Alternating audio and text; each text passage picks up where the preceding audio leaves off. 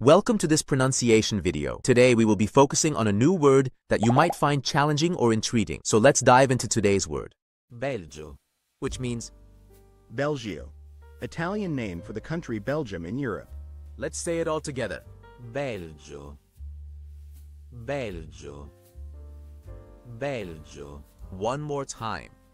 Belgio. Belgio. Belgio. Thank you for joining us on this adventure in pronunciation. Remember, language is a journey, not a destination. Keep exploring, experimenting, and expanding your linguistic horizons. We'll see you next time.